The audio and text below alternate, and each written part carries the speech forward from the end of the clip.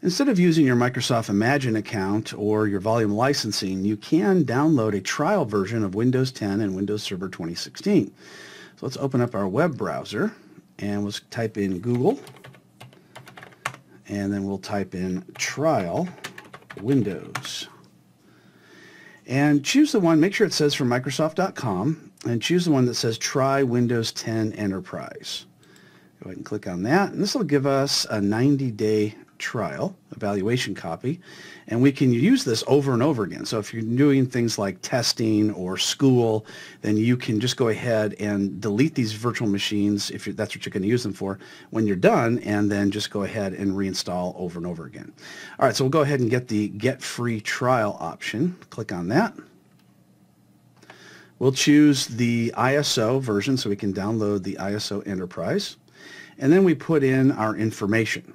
Now, even if you don't put in correct information, you'll still be able to get this. So if you wanted to, you could do this, but I recommend you give the correct information because that's the right thing to do, right?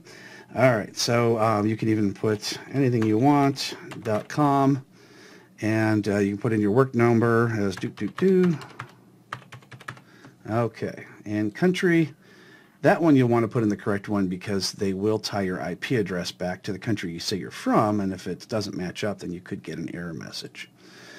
All right, that's all done. Go ahead and click Continue, and we're going to choose the 64-bit version, and we're going to select our language and choose Download. And we'll save the file.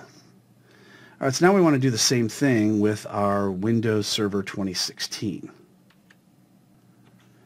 Let's just click on the arrow, make sure that our download is happening, and it is. It looks good.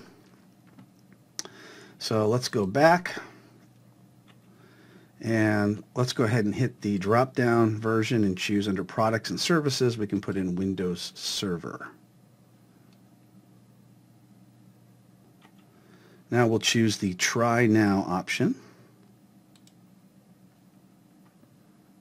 And we'll get our Windows Server evaluation, which is basically the same thing. Let's choose the ISO version, click Continue, and we'll put in our same information again.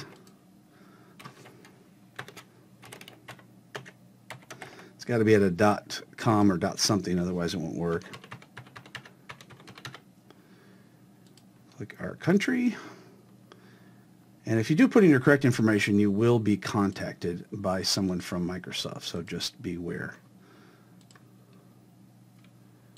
And we'll choose English and download. Now once these are downloaded, I will show you how you can mount them up in VMware so you can uh, make a server out of them. And if we hit the arrow pointing down, we can see both of our files are downloading, so we're in good shape. So we see our download is done. I went ahead and renamed the ISO to Windows 2016 Standard. The uh, Windows 10 is still downloading. And now we're going to choose to create a new virtual machine. And we're going to choose I will install the operating system later. Not sure why that uh, fixes the problem, but it certainly does. So we'll go ahead and browse to that location once again. And we'll choose the VMs folder next. And we'll do the store as a single file one more time. Finish. And now we'll start it up.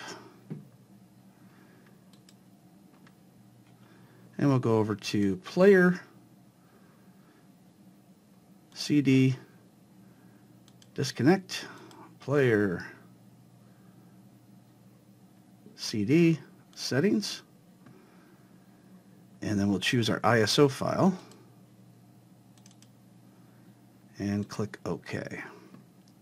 We do want to make sure where it says player, removable devices, that CD is checked. Because even though we've attached the ISO file, unless that box shows is checked, it's not necessarily going to be on. So let's go back and restart one more time. And we've now gotten past the error, and we can go ahead and choose the installation that we want and continue on.